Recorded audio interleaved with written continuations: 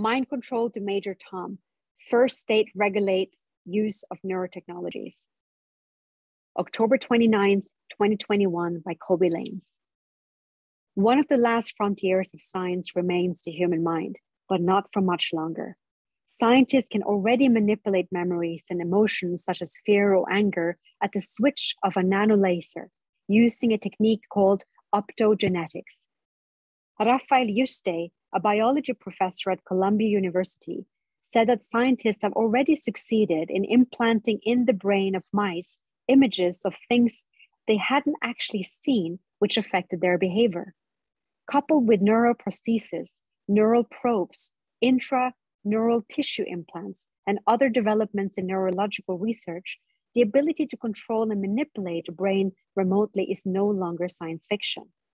Where previously imaging permitted scientists to only observe specific kinds of disparate activity within the brain, now functions of the brain are being mapped and altered in the same way that the human genome was, with similar attempts to intervene and manipulate neural function for many different purposes. Last week, Chile became the first country to legislate a neurotechnology that can manipulate one's mind, focusing on the rights to personal identity, free will, and mental privacy raising concerns that scientific and technological development must be at the service of people and needs to be carried out with respect for life and physical and mental integrity, the Chamber of Deputies said in a statement.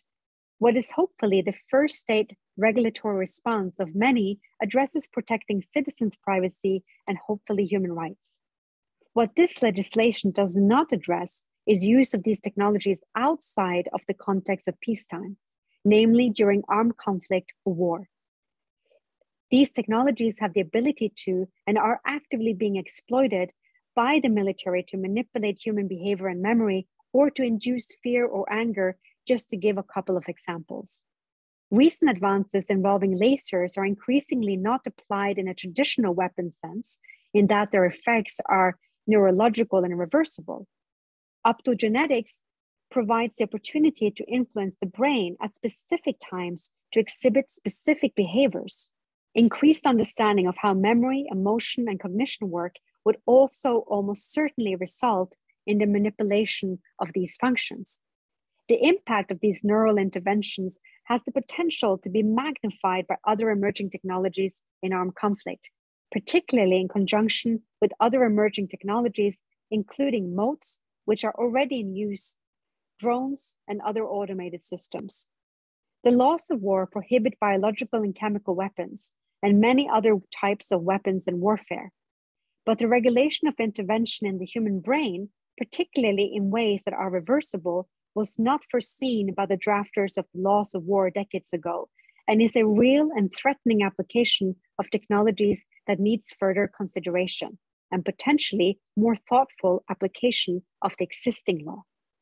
The legal requirement to review new or modified weapons should include traditional weapons, but also any use of science that is weaponized to protect rights to personal identity, free will, and mental privacy, not only in times of peace, but even more so in times of war.